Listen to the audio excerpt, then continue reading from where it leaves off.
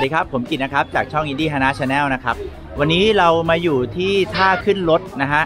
สีของสีฟ้าทัวร์นะครับ เพื่อที่จะไปลงเรืออีกทีหนึ่งนะครับนะวันนี้เราจะมีกิจกรรมนะฮะไปดำน้ำนะครับ เดี๋ยวจะพาเพื่อนๆไปดำน้ำกันนะครับผมนะที่เกาะทะลุนะครับผมซึ่งอยู่ที่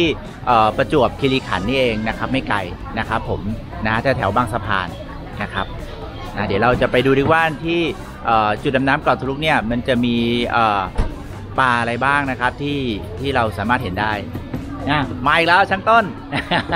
ตามไปด้วยสวัสดีครับ โอเค เดี๋ยวไปด้วยกัน ครับผม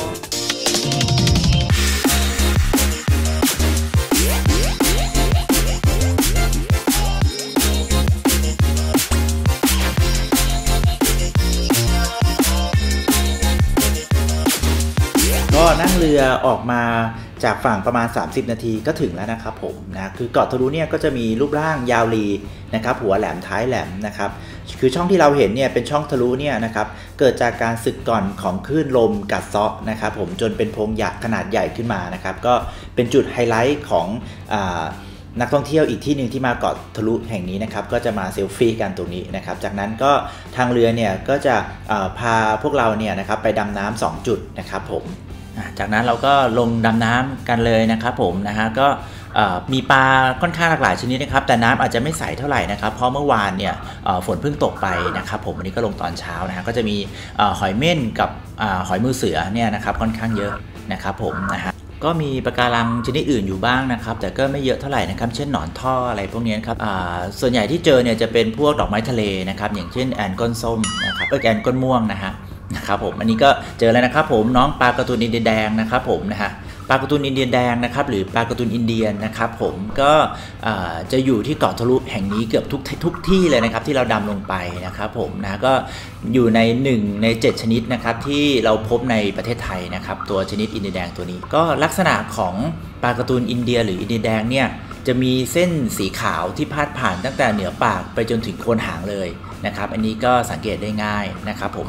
นะตัวใหญ่สุดก็จะอยู่ความยาวจะอยู่ประมาณ 11เซนติเมตรนะครับผมนะฮะก็ส่วนใหญ่เนี่ยจะอาศัยอยู่ที่ดอกไม้ทะเลนะครับของเราเนี่ยที่ผมเห็นเนี่ยก็จะเป็นตัวแอนก้นม่วงโคโลนีหนึ่งเนี่ยก็จะมีตัวปลาการ์ตูนอินแดงเนี่ยอาศัยอยู่หลาย ๆ ตัวรวมกันนะครับผมนะฮะ แต่ก็จะเป็นเพศผู้ทั้งหมดนะครับจนกว่าจะมีตัวที่ประกาศสักดาว่าใหญ่ที่สุดหรือเป็นจ่าฝูงนะครับก็จะเปลี่ยนเพศนะครับจากเพศผู้เป็นเพศเมียนะครับผมอันนี้ก็เป็นธรรมชาติของปลาการ์ตูนครับผมเรียบร้อยนะครับผมตอนนี้ก็ขึ้นมาจากฝั่งแล้วนะครับผมนะวันนี้ก็เจอปลาการ์ตูนอินเดียแดงเยอะมากเลยครับ แล้วก็เราเจอนี่มันนี่หรือแอนก้นม่วงด้วยนะครับผมนะฮะก็โหวันนี้ ถือว่าเกาะทะลุนี่ก็ยังอุดมสมบูรณ์อยู่นะครับผมตั้งแต่หลังโควิดมาเนี่ยถือว่าอุดมสมบูรณ์มากกว่าเดิมอะครับผมนะฮะนะครับก็ใครที่มาเที่ยวเกาะทะลุก็มากับทัวร์ของสีฟ้าทัวร์ได้นะครับราคาไม่แพงฮะตกคนละอ่า400 บาทเท่านั้นเองนะครับก็ใช้เวลาครึ่งวันก็กำลังดีเลยครับผมโอเค วันนี้ไปก่อนนะครับ อย่าลืมกดไลค์ กดแชร์คลิปของเราด้วยนะครับ ขอบคุณมากครับ สวัสดีครับ